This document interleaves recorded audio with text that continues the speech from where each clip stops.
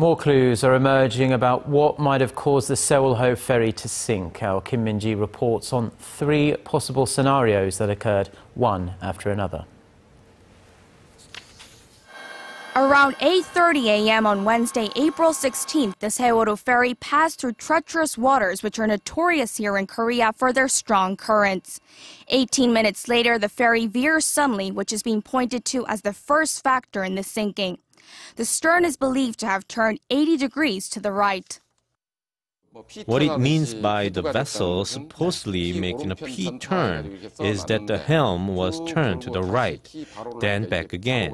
But the boat didn't come back to its original position.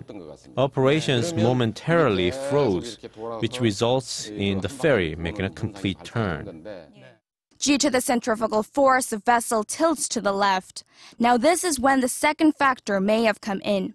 Grips holding down on the ferry's freight may have come loose, causing containers and vehicles in the cargo compartment to list sharply to one side.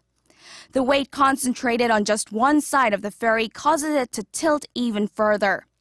If the vessel had enough dynamic stability, the vessel could have bounced back to the other side and maintained balance.